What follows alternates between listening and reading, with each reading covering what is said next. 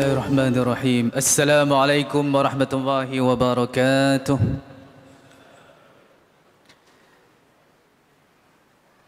إن الحمد لله نحمده ونستعينه ونستهدي ونستغفره ونعوذ بالله من شرور أنفسنا ومن سيئات أعمالنا من يهده الله فلا مضل له ومن يضلل فلا هادي له أشهد أن لا إله إلا الله وأشهد أن محمدا عبده ورسوله أما بعد Terima kasih kepada pengurusi majlis Penganjur Perkampungan Sunnah 2019 Seterusnya muslimin dan juga muslimat yang dirahmati Allah Ta'ala sekalian Boleh tunggu lagi ke? Ha, ni daripada kuliah subuh, kemudian kuliah duha satu, ni dah masuk kuliah duha dua, lepas ni kuliah duha tiga. Boleh eh? Ha, sambil-sambil tu bolehlah minum-minum apa yang patut. Baik. Tuan-tuan dan puan-puan yang dirahmati Allah Ta'ala sekalian, sepanjang perkembangan sunnah ini kita berbicara tentang maqasid syariah ataupun maqasid syariah yang berbincang panjang bagaimana untuk kita gunakan konsep ini di dalam kehidupan seharian kita. Maka pada hari ini kita akan berbincang bagaimana untuk kita berinteraksi apabila wujudnya satu manfaat dan juga ada satu mudarat yang mana perlu kita dahulukan. Secara logiknya kita kata dahulukan yang yang ada manfaat. Secara logiknya. Dan ada yang berkata kita tinggalkan terlebih dahulu yang ada mudarat. Jadi bagaimana untuk kita berinteraksi di antara manfaat dan juga mudarat adakah ia boleh digunakan dalam bentuk yang kita boleh generalisasikan kaedah-kaedah tersebut ataupun ada situasi-situasi tertentu ada standard-standard tertentu yang perlu kita lihat. Jadi tuan-tuan dan perempuan sekalian, untuk memulakan perbincangan kita pada pagi ini dengan masa yang terhad, kita perlu melihat bagaimana sebagai contohnya perintah-perintah di dalam Al-Quran ia membawa kepada manfaat khususnya kepada manusia. Sebagai contoh apabila Allah Taala menyebutkan di dalam surah Al-Baqarah ayat ke-43 wa aqimus salah wa atuz zakat tunaikanlah salat dan berikanlah zakat Baik, di sini bagaimana kita naik nak nak kaitkan solat itu dan juga zakat itu sebagai bentuk manfaat di dalam kehidupan manusia. Sebelum kita bincang dengan lebih lanjut, cuba kita tanya, kenapa di dalam Al-Quran Allah Taala gandingkan perkataan solat dan juga zakat? Perasan tak? Aqimus solah wa atuz zakah solat digandingkan dengan dengan zakat. Kenapa? Sebab dalam kehidupan kita ini kita terikat dengan dua perkara. Yang pertamanya adalah hak dengan Tuhan. Yang keduanya adalah hak sesama manusia. Sebab itulah solat yang merupakan hak Allah Subhanahu wa taala tanggungjawab kita sebagai hamba untuk menunaikan perintahnya dalam bentuk solat. Manakala zakat merupakan hak manusia. Harta yang ada pada kita itu perlu diberikan kepada orang yang memerlukan. Oleh itu, zakat ini dinamakan juga dari sudut bahasanya merujuk kepada penyucian harta dan juga ji, jiwa itu takrifan bagi zakat cuma kita pada hari ini apabila diperintahkan menunaikan zakat mungkin ada yang tertanya-tanya kenapa aku perlu menunaikan zakat dan ada yang beranggapan bila ada duit lebih barulah boleh bagi zakat cara kita berfikir Baik, disebabkan tuan-tuan daripada pagi tadi saya nak bawa satu analogi, tolong jawab soalan saya, boleh? Baik. Katakan kita pergi memburu. Tengok-tengok di langit ada 10 ekor burung. Lalu kita tembak pom pom pom jatuh 4 ekor. Berapa yang tinggal? Tolong jawab tuan-tuan. Tinggal berapa? Tinggal 6. Baik. Ada jawapan lagi? Empat, tu dia. Para ulama telah khilaf dalam soal matematik. Ada empat, ada sepuluh ekor burung, kita tembak empat. Saya tanya soalan, yang yang tinggal berapa? Ada yang menjawab enam, ada yang menjawab empat. Kita melihat sekarang bagaimana perbezaan pandangan ini. Baik. Bila kita tembak, jatuh empat. Bila tuan-tuan jawab yang tinggal enam, bila tembak empat, yang enam tu pergi mana? Yang enam tu terbang, betul? Dia tinggal tak? Kita nampak tak yang lagi enam tu? Tak nampak betul sebab dah terbang. Yang tinggal berapa sekarang? Empat. Begitulah analogi bagi zakat. Harta yang dapat kepada kita itu, itulah yang patut kita bagi kepada mereka yang memerlukan bukan duk tunggu yang tak ada lagi tu cara kita melihat konsep kehidupan bagaimana untuk kita membantu orang lain dan kalau tuan-tuan tengok di dalam Al-Quran banyak disebutkan terutamanya juzuk yang ke-30 berbicara tentang bagaimana keadaan manusia yang rugi di akhirat nanti sebab terlalu tamakkan kepada harta. Sebagai contoh, Surah At-Takathur. Alhaakumut takathur hatta zurtumul maqabir. Kamu dilekakan dengan mengejar harta benda sehinggalah kamu masuk ke dalam lubang kubur. Alhaakumut takathur hatta zurtumul maqabir. Allah Ta'ala menggunakan perkataan zurtum, ziarah itu bermaksud ada satu mesej yang nak sampaikan kepada kita. Tuan-tuan, ziarah ni maksudnya apa? Kalau tuan-tuan datang rumah saya ziarah, mari pukul 8, sepatutnya balik dalam pukul berapa? At least tengah hari kan? Ataupun bermalam sehari mungkin. Tapi dia kata saya tak mau balik. Adakah itu dinamakan sebagai ziarah? Tidak.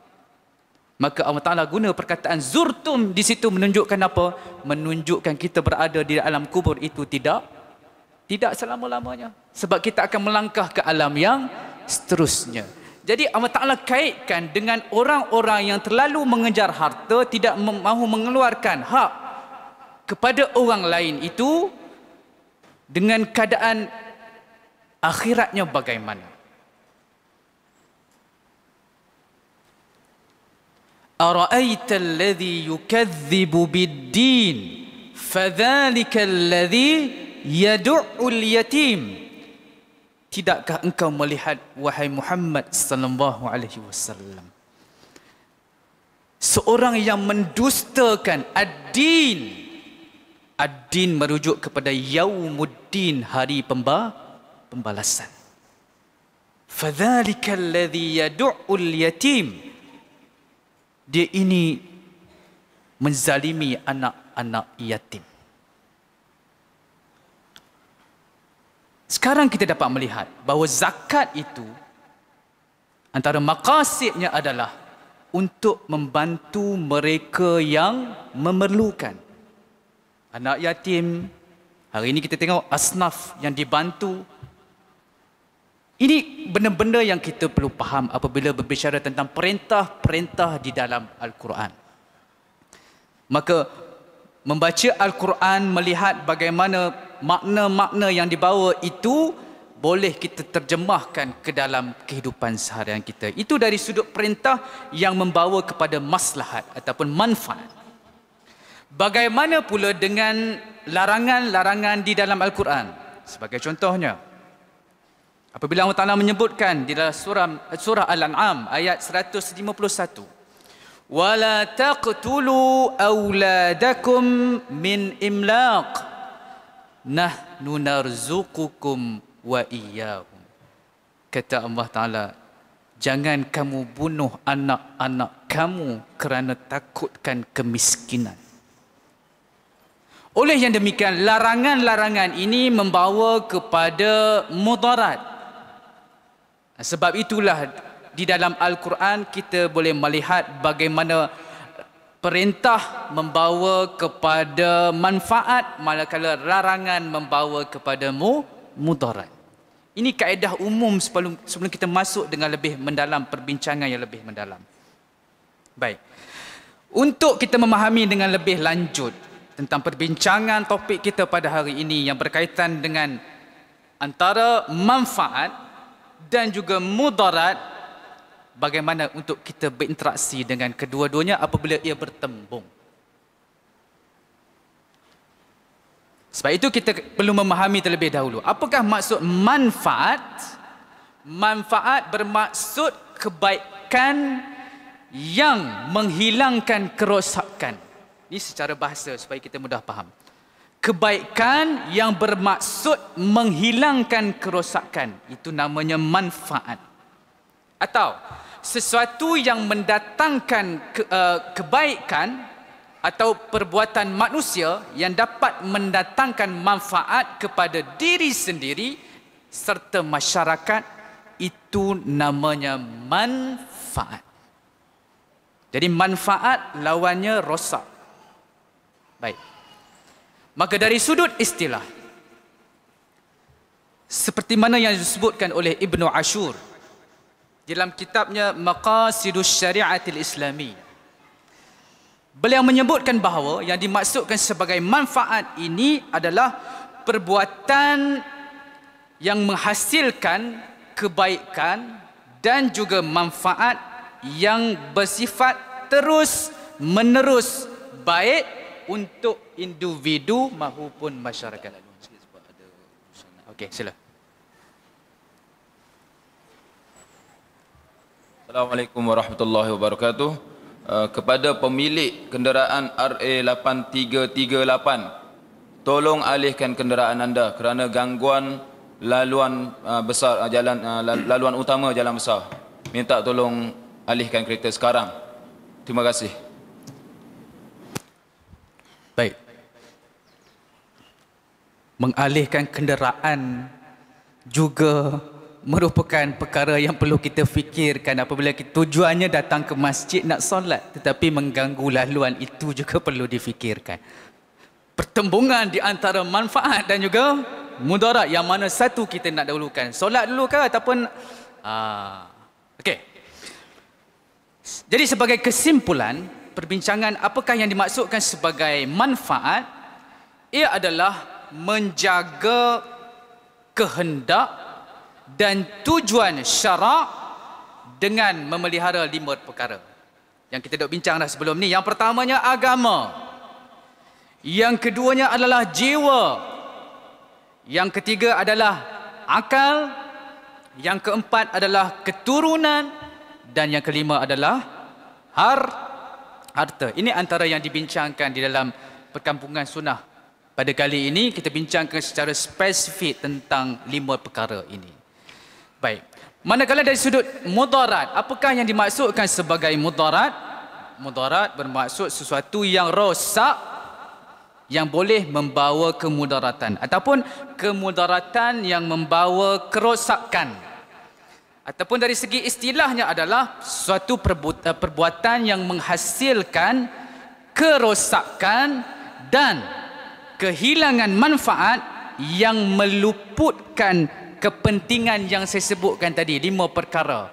Yang pertamanya agama yang keduanya jiwa yang ketiganya akal yang keempat keturunan yang kelima adalah har harta. Maka mutarat adalah meluputkan lima perkara ini kita namakan sebagai mutarat jadi jelas sekarang perbincangan kita tentang apakah itu manfaat apakah itu mudarat. Baru boleh kita bincang tentang pertembungan di antara kedua-dua perkara ini. Baik. Baik, sekarang kita nak tengok sedikit sebanyak tentang pandangan ulama usul yang berkaitan dengan manfaat dan juga mudarat. Jadi penceramah-penceramah banyak sebut tentang pandangan Asy-Syatibi dalam kitabnya Al-Muwa Al-Muwafaqat fi Usul Syariah menyebutkan bahawa manfaat dan mudarat yang kembali kepada permasalahan dunia mesti dilihat dari sisi yang mendominasi. Ha, sekarang kita nak masuk kepada kaedah. Bertembung di antara manfaat dan juga mudarat kata Al-Imam Syatibi rahimahullah mengatakan bahawa perlu melihat dari sudut yang mendominasi. Sebagai contoh, apabila manfaat yang mendominasi, maka itulah tujuan syarak. Tetapi sekiranya mudarat yang mendominasi, itu juga merupakan tujuan syarak. Jadi tuan-tuan dan puan sekalian, apabila kita nak mentarjihkan kedua-dua ini, yang mana satu yang perlu kita utamakan, kita tidak boleh menggunakan akal semata-mata untuk membuat keputusan. Maka sekarang perlu masukkan nas untuk membimbing akal. Sebab apa? Kalau berfikir tanpa panduan wahyu, nafsu akan menguasai jiwa kita. Lalu kita akan membuat keputusan yang salah berdasarkan kepada hawa nafsu. Sebab itu panduan daripada nas ini sangat-sangat penting. Apabila kita nak berinteraksi di antara maslahat dan juga dan juga mudarat.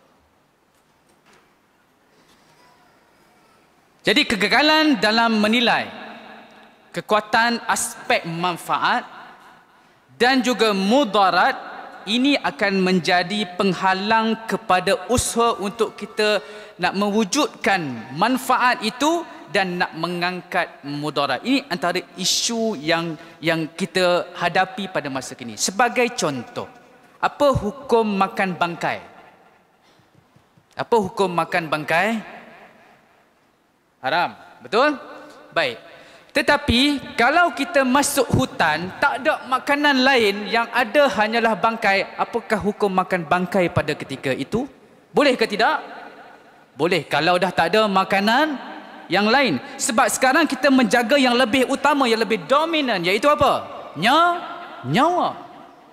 Ha, sekarang kita tak boleh nak generalize kaedah ini begitu saja. Melihat kepada yang mana satu yang mendominasi pada ketika itu.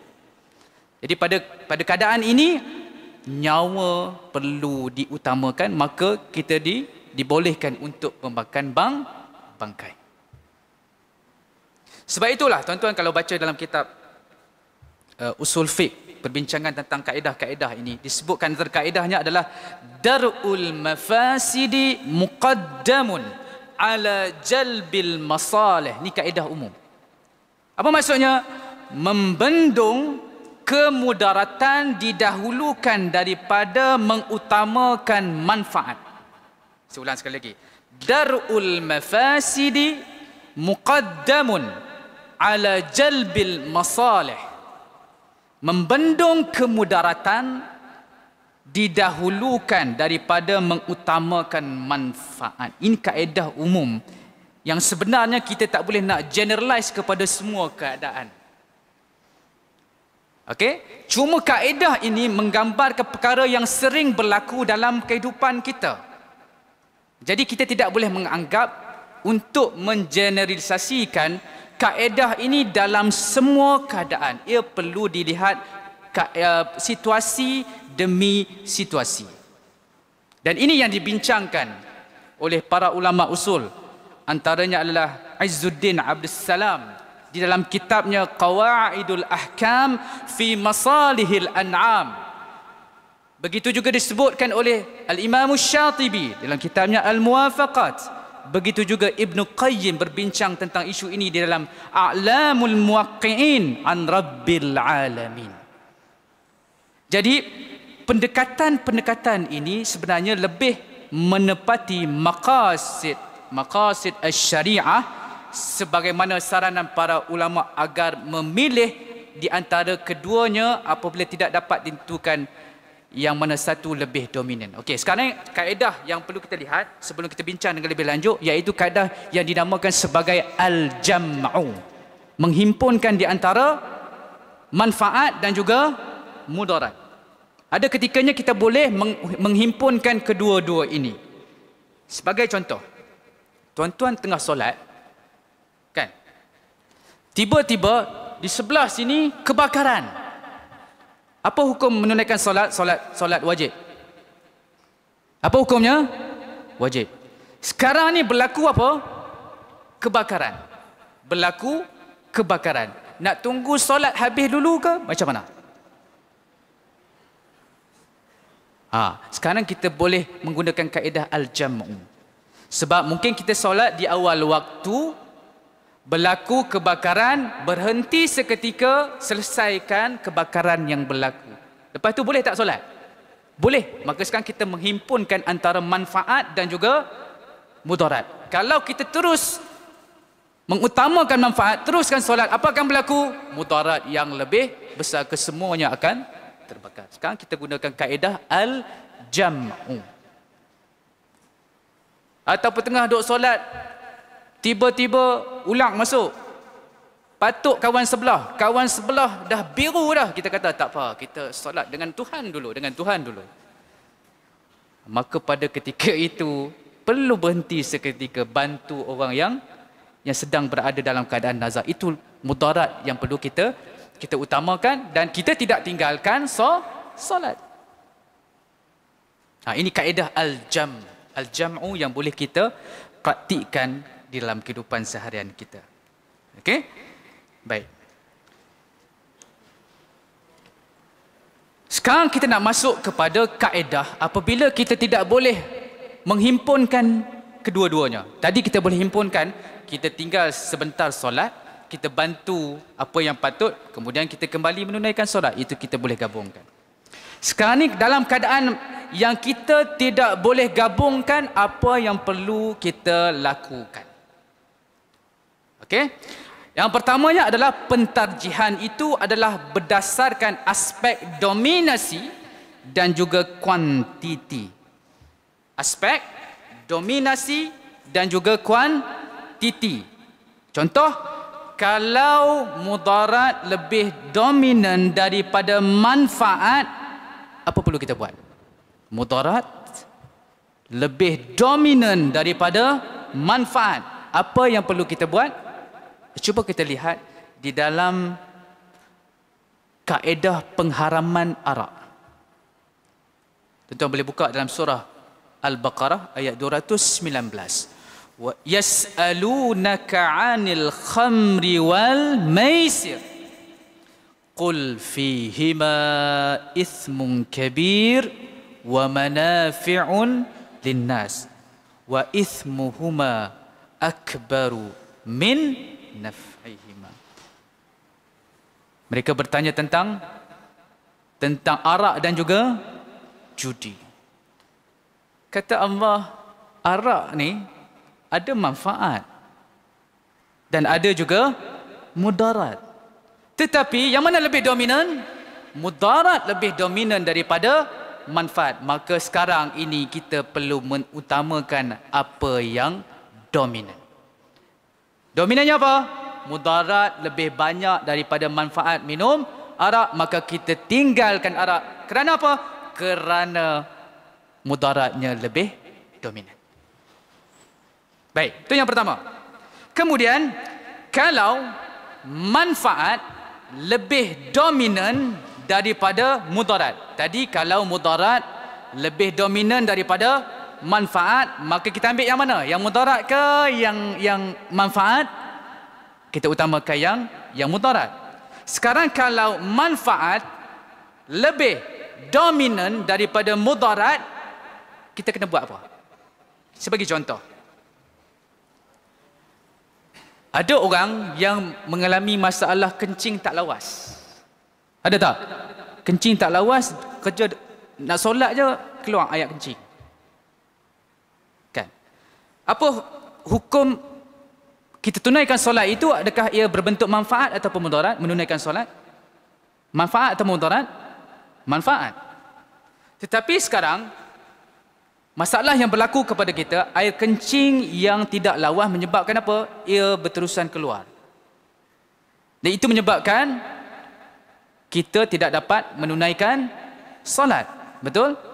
Sebab itulah dibincangkan panjang lebar tentang isu ini. Okey? Sebab kita nak dapat maqasid sembahyang itu dan juga keperluan bersu bersuci dua perkara yang yang dindong sekali sama ada nak teruskan sembahyang ataupun berhenti sembahyang settle dulu yang air kencing yang tidak putus-putus keluar sebab itu kaedah menyebut bahawa kalau keadaan ini berlaku kita sebelum solat cuci dengan baik kan? Balut dengan elok buat apa yang boleh kita lakukan kemudian terus melakukan solat. Sebab kalau tidak selama-lamanya kita tidak akan dapat menunaikan solat. Ini antara kaedah apabila manfaat iaitu sembahyang itu lebih dominan daripada bersu bersuci ini perkara-perkara yang berlaku apabila berlakunya masalah berlakunya masalah contoh lain Kat sini semua dah sunat kan? Ha. Confirm dah sunat lah kan? Baik. Apa hukum melihat aurat orang lain? Apa hukum melihat aurat orang lain? Boleh tak melihat aurat orang lain? Hukumnya ha? haram.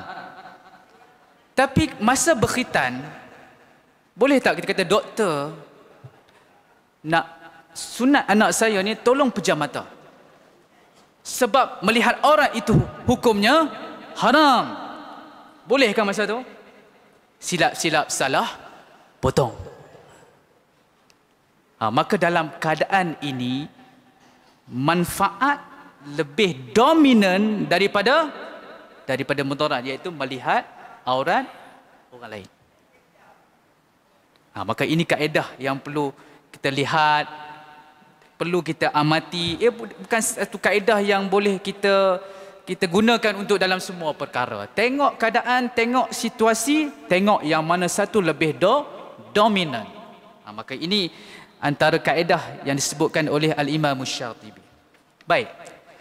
Itu kaedah yang pertama melihat dari aspek yang lebih dominan dan juga kuantiti. Yang kedua pentarjihan berdasarkan aspek kekuatan pemakaian sesuatu perkara. Apa maksudnya? Kita melihat dari sudut daruriyat. Yang kedua, ha hajiat. Yang ketiga, tahsi tahsiniat. Ha, maka kita perlu faham dululah apakah ini maksudkan sebagai daruriyat? Apakah itu hajiat? Apakah itu tahsi tahsiniat? Baik. Kalau kita beli rumah Kalau tak ada benda tu kita tak nama rumah. Apa dia? Beli rumah. Tak ada yang ada dekat rumah tu kita tak panggil rumah. Antaranya tak ada bumbung. Beli rumah tapi tak ada bumbung. Okey tak? Tak okey lah. Ha, maka itu kita namakan sebagai daru daruriyat. Beli rumah katil semua dah siap semua tapi tak ada tak ada bumbung. Hajiat benda-benda yang boleh menyebabkan berlaku kekurangan kepada rumah tersebut. Apa contohnya? Dalam rumah apa yang tak ada? Kalau tak ada pintu macam mana? Bumbung ada tapi pintu tak ada macam mana? Okey lagi tak? Ha, mungkin sebab apa? Pencuri masuk, uh, apa lagi? Binatang masuk, maka pintu antara daruriyat. Apa yang berbentuk hajiat yang kalau tak ada masih boleh survive tapi ada kekurangan? Ya? Perabot. Ha, perabot adakah ia hajiat ataupun tahsiniat? Ha, perabot ni tahsiniat benda-benda yang aksesoris yang kalau tak ada pun boleh hidup lagi dalam tu. Apa yang hajiat yang tingkap? Ha, tingkap. Ha, tingkap antara analogi mudah untuk kita nak faham ha hajiat. Tahsiniat ni contoh macam uh, apa TV ha? kipas Ha, kipas. Okey. Kalau tak ada kipas okey kan tuan-tuan? Hangat. Mungkin ia bersifat hajiat. benda yang perlu okey apa lagi tahsiat aircon ha aircon sebab dah ada kipas kan so aircon tu adalah bentuk tahsi tahsinia okey jadi kena faham bentuk yang begitu sebelum kita decide yang mana satu kita nak pilih apabila bertembung di antara uh, manfaat dan juga mu mudarat. Baik. Jadi susunan keutamaannya adalah yang pertamanya daruriyat terlebih dahulu kemudian hajiat kemudian tahsiniat. Sebab daruriyat merupakan keperluan utama hajiat merupakan keperluan sekunder manakala tahsiniat merupakan keperluan tam tambahan baik baik sekarang kita nak melihat manfaat versus mudarat apabila ia berada dalam keadaan daruriyat. Berada dalam keadaan daru daruriyat. Contoh. Apa hukum minum arak? Apa hukum minum arak? Ha? Haram. Tetapi apabila kita tidak ada minuman yang lain kecuali arak, masa tu boleh tak minum arak? Boleh tak? boleh. Okey, masa tu boleh minum arak. Minum arak mudarat. Okey. Tapi sebabkan kita nak menjaga yang lebih besar iaitu apa? Kalau tak minum boleh menyebabkan kita ma mati itu mudarat yang lebih besar. Sekarang ni kita kategoriskan antara daruriyat, hajiat dan juga tah tahsiniat. Maka pada ketika itu dibolehkan untuk kita minum arak. Kalau tak ada minuman lain. Ha, jangan kalau ada minuman lain kita masih nak minum arak itu masalah kita. Baik. Contoh lain. Katakan satu hari ahli keluarga kita yang perempuan dicolek oleh beberapa kumpulan pencolek. Dia telefon, "Hello, aku nak satu 2.6 billion Contoh, okey. Kalau kau tak bagi, aku akan rogol anak engkau. Sekarang, duit itu adalah manfaat ataupun mudarat. Duit itu, duit itu adalah manfaat untuk kita. Okey? Tetapi sekarang, rogol itu adalah bentuk apa? Mudar, mudarat. Maka pada ketika ini, duit yang tadi, kan? Sebab duit kalau kita bagi dekat perompak penyamun, boleh jadi mudarat juga. Boleh tak? Boleh juga. Mudarat juga tetapi kita melihat mudarat yang lebih dominan sekarang ini apa? Rogol itu sekarang kita menjaga yang pertamanya dari sudut ketu keturunan. Menjaga keturunan itu sebab itu dibolehkan bagi duit untuk menjaga keturunan. Sebab apa? Bila dirogol takut-takut melahirkan anak daripada daripada perbuatan rogol tersebut. Okey. Atau dalam perang tentera Islam kena tawan, boleh tak kita bagi duit untuk membebaskan tawanan tersebut? Okey, kalau kita berikan harta kepada musuh, ia sebenarnya satu bentuk mudarat. Sebab apa? Kita akan hilang harta, Okey, dan kita akan menambahkan kekuatan ekonomi mu musuh. Tapi untuk membebaskan tentera Islam, kita akan mendapat manfaat dari sudut apa? Bertambah kekuatan umat Islam. Maka pada ketika itu kita mengutamakan untuk membebaskan tentera Islam supaya bila tentera Islam dibebaskan camp tentera muslim ini akan lebih lebih kuat untuk melawan tentera-tentera musuh. Ini kaedah-kaedah yang boleh kita uh, guna pakai. Baik.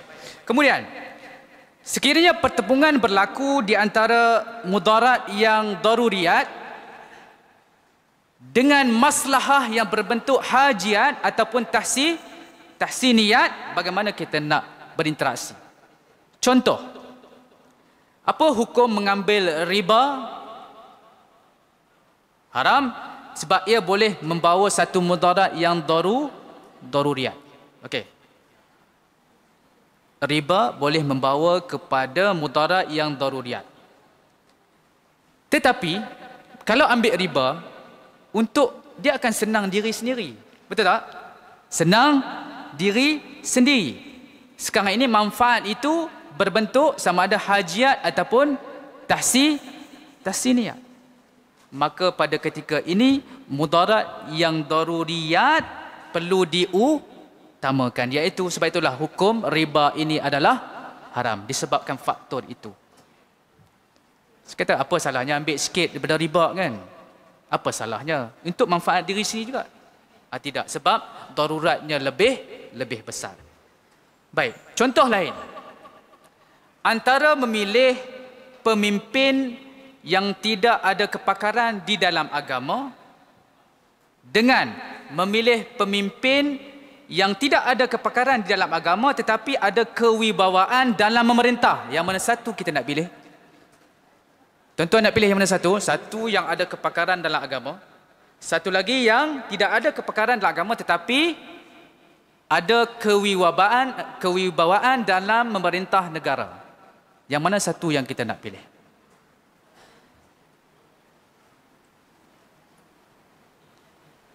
Macam masa susah nak jawab tu. Sebab fikir lama panjang tu. Ini bukan soalan politik dah. Soalan supaya kita berfikir. Okey? Ah, jadi memilih pemimpin yang tiada kepakaran dalam agama itu, okey? Dia punya kesannya pemimpin tersebut boleh membawa negara membelakangkan hukum syarak. Okey. Tetapi sekarang ni kita nak pilih pemimpin dan seorang lagi itu mempunyai kemahiran kewibawaan dalam memerintah negara. Maka sekarang pemimpin yang hanya ada kepakaran dari sudut agama itu itu dinamakan sebagai mudarat yang bentuk hajiat tahsiniah. Maksudnya kalau tak ada pemimpin yang ada kepakaran agama itu adalah mudarat yang ha hajiat. Tetapi memerintah negara dengan dengan cara yang betul dengan dengan uh, kepakaran yang yang betul maka itu merupakan manfaat daruriat maka manfaat daruriat perlu diutamakan. Perbincangan panjanglah dari dari sudut ini tapi secara umumnya kita nak bawa kepada bagaimana untuk kita membezakan di antara manfaat dan juga mudarat yang berada pada pada kategori daruriyat, hajiat dan juga tahsiniat. Contoh lain, contoh lain. Kalau kita pergi ke kedai-kedai, mesti ada tanda tanda har tanda harga, betul? Adakah meletakkan tanda harga itu perlu? Bagi penjual, perlu tak dia letakkan tanda harga? Tak perlu. Tapi bagi pembeli perlu tak? Perlu sebab apa? Supaya tidak tidak ditipu. Maka sekarang keperluan yang lebih berat melihat kepada pembeli. Okey, yang sekiranya tanda harga tidak diletakkan, maka penjual boleh sewenang-wenangnya meletakkan harga boleh menipu pembeli. Maka bila kerajaan suruh letakkan tanda harga, itu merupakan benda yang perlu kita utamakan. Ha, ini antara benda yang yang jelas yang boleh kita lakukan dalam kehidupan seharian kita. Baik, yang ketiga. Pentarjihan berdasarkan impak sesuatu seruhan dan tegahan dalam hukum taklifi. Apakah impaknya sesuatu suruhan dan tegahan dalam hukum taklifi?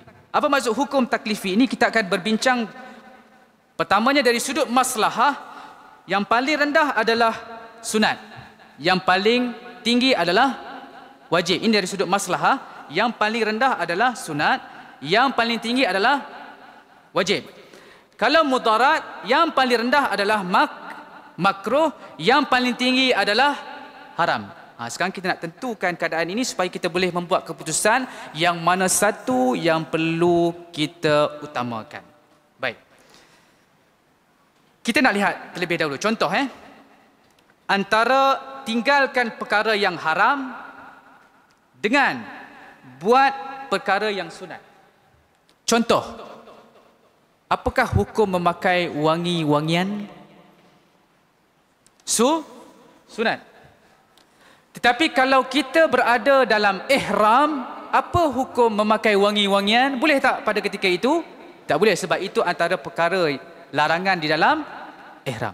Maka sekarang kita buat yang sunat ke ataupun kita tinggalkan yang haram? Kita tinggalkan yang haram iaitu memakai wangi-wangian ketika berada di dalam. Sebab hukum masalah apa? Su sunat. Tetapi bila berada dalam ihram dia tidak lagi menjadi su sunat. Maka pada ketika ini kita tinggalkan yang haram iaitu apa? Tidak memakai wangi-wangian ketika berada di dalam ihram. Baik, contoh yang lain. Antara wajib dengan makruh. Antara wajib dengan makruh. Contoh. Apakah hukum menggunakan air yang panas ketika berwuduk? Panas matahari kan? Apa hukumnya? Mak makruh. Apa hukum solat? Wa wajib. Ha, sekarang ni antara wajib dengan makruh. Yang mana satu yang kita nak utamakan. Baik. Kalau tak ada air lain air lain yang boleh digunakan untuk berwuduk, okey? Maka pada ketika itu kita boleh menggunakan air panas. Sebab apa? Sebab kita mengutamakan iaitu solat sebab air panas ni dia keadaan dia buka, tidaklah boleh memudaratkan yang terlalu terlalu berat. Okey, air panas biasa kita gunakan. Biasa kita pergi hotel pun air panas betul. Okey, tidaklah terlalu memudaratkan. Maka pada ketika itu kita mengutamakan solat kemudian berdasarkan kepada kepada kaedah ini iaitu pentarjihan berdasarkan kekuatan kekuatan satu perintah dan juga tegahan. Sebab itu Ar-Razi menyebutkan meninggalkan kebaikan yang banyak disebabkan keburukan yang sedikit adalah keburukan yang besar. Sekali lagi saya ulang. Ar-Razi menyebutkan meninggalkan kebaikan yang banyak disebabkan keburukan yang sedikit adalah keburukan yang besar. Maksudnya apa? Kalau kita meninggalkan solat disebabkan apa? Solat itu ada kebaikan yang banyak disebabkan keburukan yang sedikit iaitu air yang panas maka itu adalah keburukan yang besar. Ha, ini kaedah yang perlu kita faham. Okey? Contoh lain. Pertembungan di antara sunat dan juga makruh. Sunat dan juga makruh. Baik. Contoh. Kalau seorang tu dia badan dia cepat berpeluh badan cepat berpeluh okey jadi dia datang ke masjid bila badan berpeluh akan menyebabkan bau yang tidak tidak senang sekarang ni kita confuse di antara nak tunaikan solat secara berjemaah ataupun kita nak solat secara bersendirian disebabkan apa? Disebabkan takut mengganggu orang lain. Yang mana satu yang perlu kita utamakan? Solat jemaah secara berjemaah ataupun solat secara sendiri sebab apa? Baju yang bau yang tidak menyenangkan. Masa tu macam mana? Tuan-tuan cuba bayangkan tengah solat orang datang sebelah kita bau yang masya-Allah. Apa perasaan kita pada ketika itu? Ini datang daripada planet mana ni kan? maka ia mengganggu jemaah yang lain maka pada ketika itu maka dia boleh solat seorang diri ha. okey ha, tapi jangan salah sentiasa masa kata kenapa tak pergi solat berjemaah badan saya sentiasa busuk ha. itu problem lah okey baik baik sekarang kita nak melihat pentarjihan berdasarkan aspek kedudukan dan juga dominasi berkaitan dengan impak sesuatu suruhan dan juga tegahan dalam hukum taklifi. Okey. Jadi kalau apabila kuantiti manfaat dan mudarat dalam satu perintah dan tergahan berada pada kedudukan yang sama. Contoh, tinggalkan yang haram dengan buat yang wajib. Tinggalkan yang haram dengan buat yang wajib, yang mana satu perlu didahulukan? Saya tinggalkan soalan dulu. Yang kedua, buat yang sunat, tinggalkan yang makruh. Yang mana satu perlu didahulukan? Contoh. Lelaki boleh tak pakai sutra? Boleh tak lelaki memakai sutra? Tak boleh.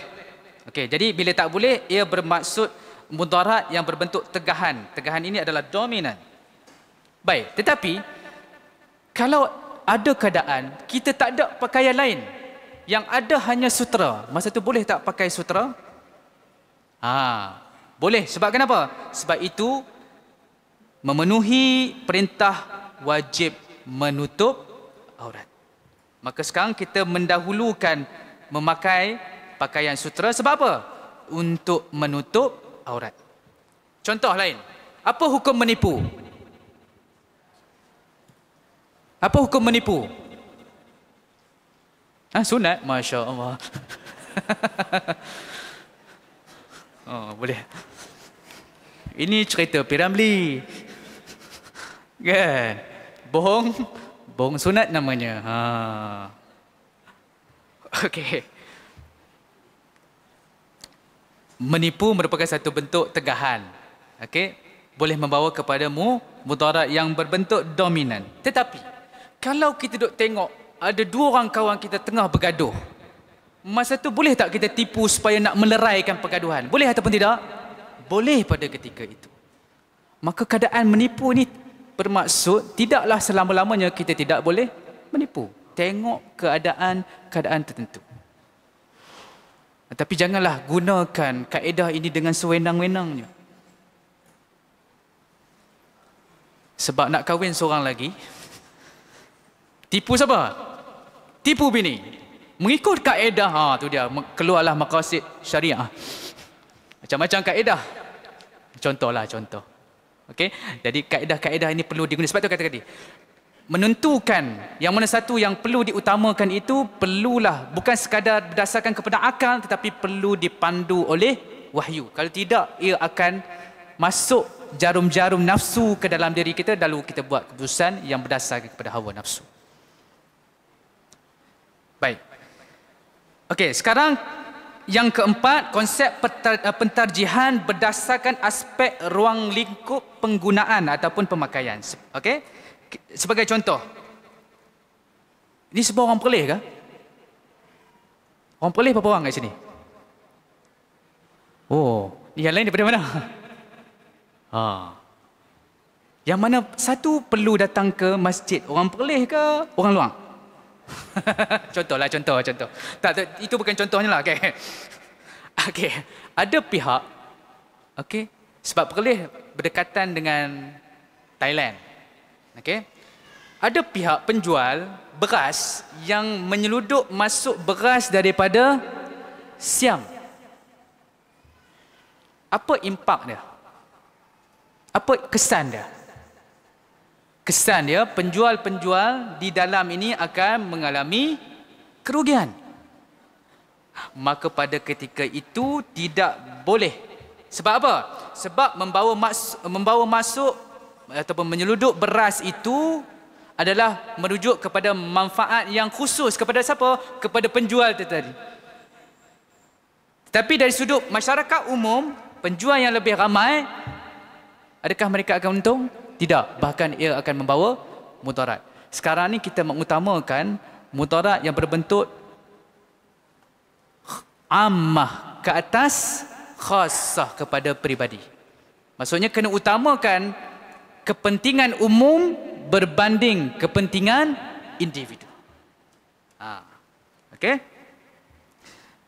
Ataupun konsep monopoli di dalam perniagaan. Konsep monopoli di dalam perniagaan. Okey? Ia mungkin memberi manfaat kepada penjual tadi. Sebab ia merupakan monopoli dalam dalam bidang perniagaan. Tetapi ia meninggalkan kesan ataupun mudarat kepada masyarakat umum. Sebab itulah hukum monopoli ini ataupun ihtikar ini hukumnya adalah haram. Tidak boleh.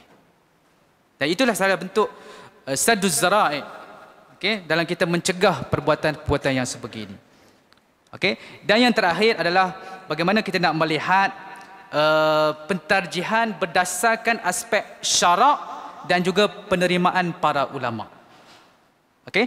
Sebelum itu kita perlu memahami manfaat dan mudarat ini dari sudut qat'iyah. Yang kedua adalah zanniyah, yang ketiga adalah wah wahmiyah. Apakah maksud ketiga-tiga konsep ini? manfaat dan mudarat yang bersifat qat'iyah iaitu eh, pengiktirafan syarak yang pasti dan juga diyakini itu namanya qat'iyah. Tetapi manfaat dan mudarat yang bersifat zanniyah adalah apabila eh, pengiktirafan syarak yang diperoleh daripada bilangan dalil yang sedikit sehingga tidak mencapai tahap yang diyakini. Maka itu sekarang bersifat zon, zoniyah sangkaan. Dan satu lagi iaitu wahmiyah, iaitu sesuatu yang disangka sebagai pengiktirafan syarak. Tetapi ia adalah sebaliknya. Itu kita namakan sebagai wah, wahmi, wahmiyah. Ada tiga keadaan. Qat'iyah, zanniyah dengan wah, wahmiyah. Baik sebagai contoh.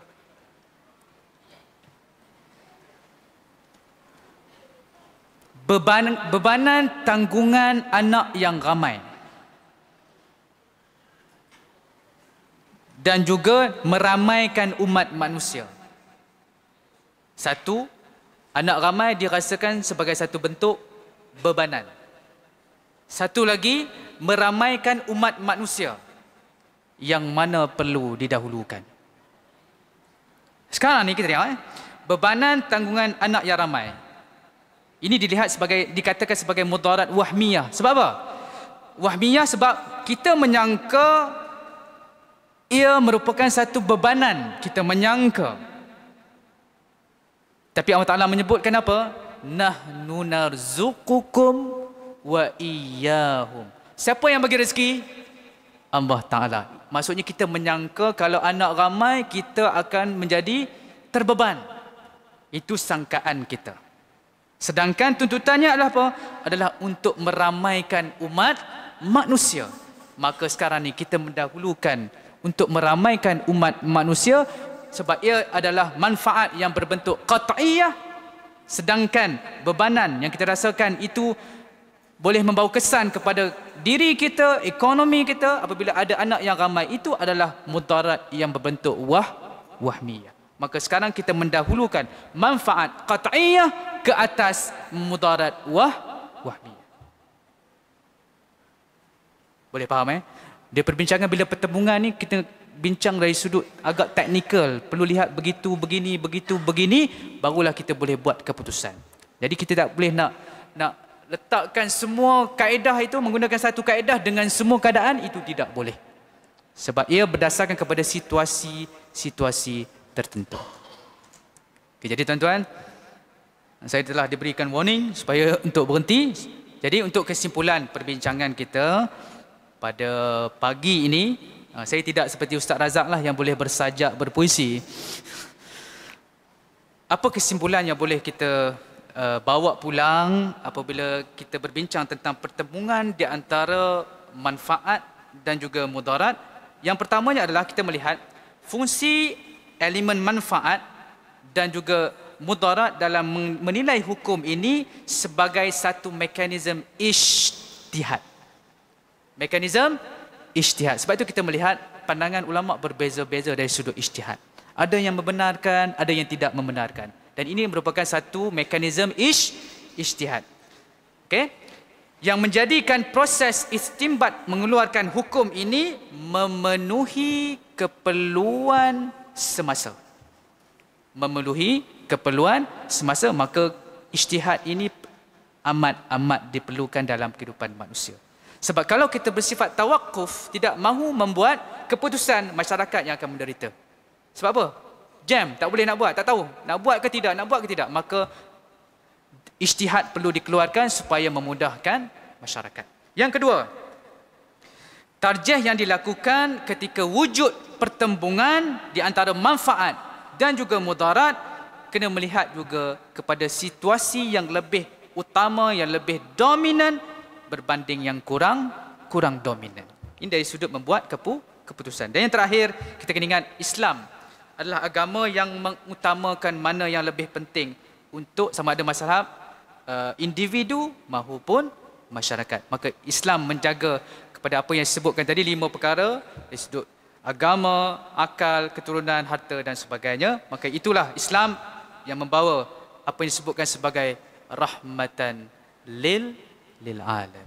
Itulah Islam yang menjaga kita dan itulah way of life yang perlu kita kita garapkan dalam kehidupan seharian kita maka menjadikan Islam sebagai cara kehidupan kita itu akan membawa kita untuk tidak melakukan perkara-perkara yang sepatutnya dikatakan betul tapi kita memilih jalan yang salah. Moga-moga dengan perbincangan kita pada pagi ini akan membawa satu sedikit sebanyak. Sebab nak bincang tentang pertemuan ni is very technical perlukan biasanya orang satu semester belajar isu ni. Ha, kita belajar berapa jam ni sejam je tuan-tuan ha, maka kita secara umum lah kita faham bagaimana kita nak berinteraksi dengan dengan manfaat dan juga mudarat moga-moga ada kebaikan untuk diri saya dan juga tuan-tuan dan puan sekalian sekadar itu saja assalamualaikum warahmatullahi wabarakatuh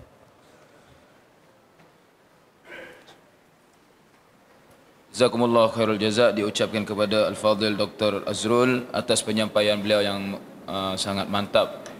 Moga-moga apa yang beliau sampaikan memberikan manfaat kepada kita semua dan insya-Allah program kita pada pagi ini kita rehat sebentar lebih kurang dalam masa uh, 25 minit daripada sekarang yang dan kita akan teruskan lagi kuliah